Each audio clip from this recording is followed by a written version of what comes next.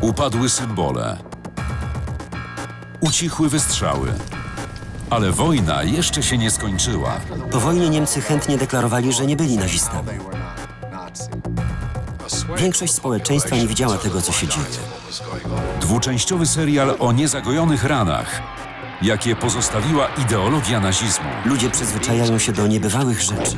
Ludzie Hitlera, premiera w poniedziałek 22 sierpnia na Polsat Viasat History.